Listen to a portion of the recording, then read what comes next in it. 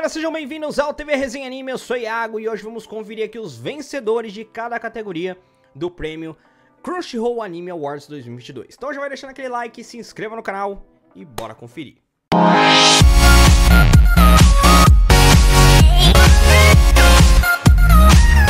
Começando aqui com a categoria de melhor performance em português, tá? A dublagem. Quem venceu foi o Léo Rabelo.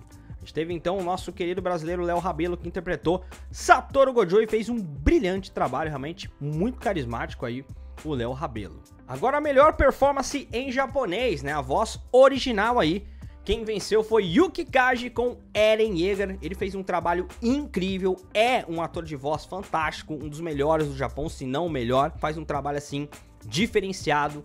E, e, tem muitos personagens, inclusive tem um vídeo aqui no canal onde mostra outros trabalhos dele, vocês vão se surpreender, que tem muitos personagens que você não sabia que ele interpretava também. E agora seguindo aqui na categoria de melhor filme, a gente tem Kimetsu no Yaiba, o Arco do Trem. Aí você me pergunta, mas Iago, ele não estreou em 2020? Sim, estreou em 2020, só que para o resto do mundo foi em 2021. 2020 foi no Japão, 2021 foi pro resto do mundo, tá bom? Melhor anime de comédia quem venceu foi Komi-san, muito bem representado aí como um anime de comédia. A gente teve outros aí, como Nagatoro, uh, o próprio anime lá do céu, que é muito engraçado, né, do paraíso.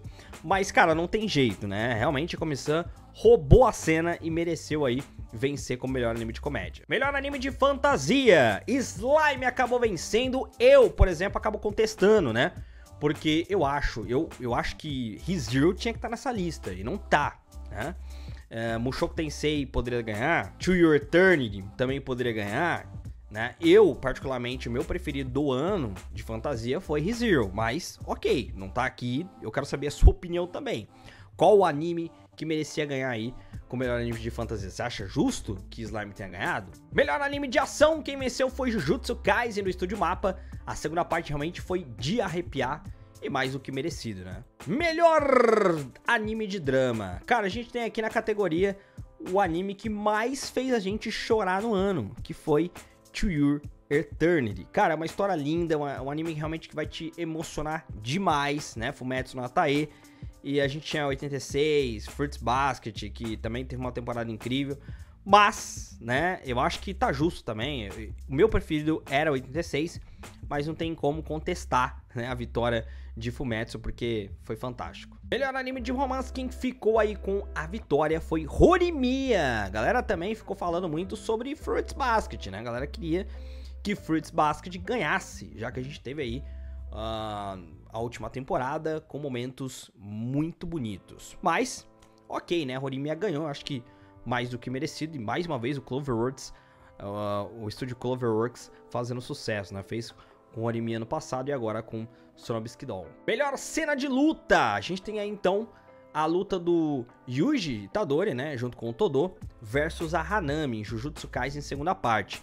Mas aí eu contesto, porque para mim a melhor luta tá aqui, ó né, entre os concorrentes, que seria aí uh, a luta do Itadori junto com a Nobara. Para mim aquele episódio foi fantástico, uma das melhores lutas que eu já vi nos últimos anos, né? A luta foi incrível, animação fantástica, trilha sonora de arrepiar, a interpretação dos personagens. Então assim, num todo, para mim foi bem melhor do que a luta que acabou vencendo, né? Como a melhor luta do ano. Mas tá merecido também, foi uma boa luta, mas eu prefiro da do, do Itadori junto com a Nobara. E agora melhor antagonista, e não podia ser outro, né? Eren Yeager mostrando toda a sua supremacia, realmente surpreendendo a todos com a quarta temporada. Então, mais do que merecido, Eren acabou vencendo como melhor antagonista. Melhor protagonista. Quem foi o melhor protagonista foi o Odokawa de Old Tax. Cara, eu não assisti esse anime, então não posso falar muito, tá?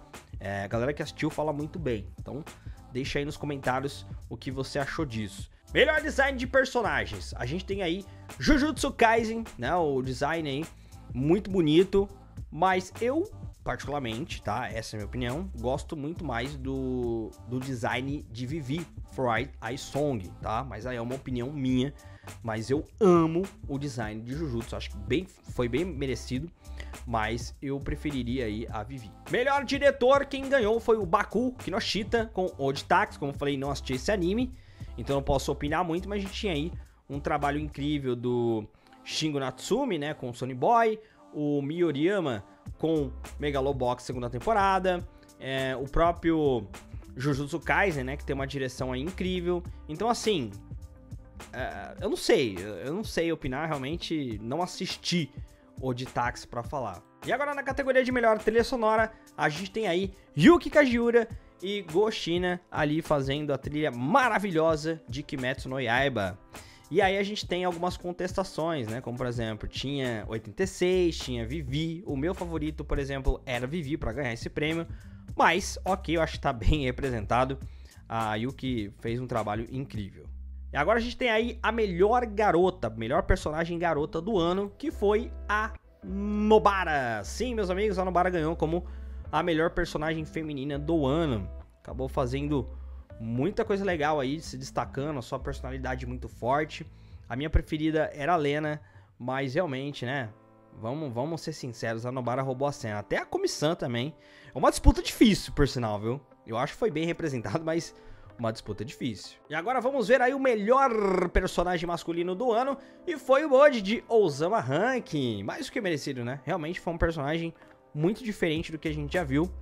Então, mais do que merecido, cara, de verdade. E agora vamos para a categoria polêmica, né? Categoria de melhor encerramento. Temos aí Demon Slayer com Arco do Trem, que realmente foi uma música bonita, mas a galera queria o quê?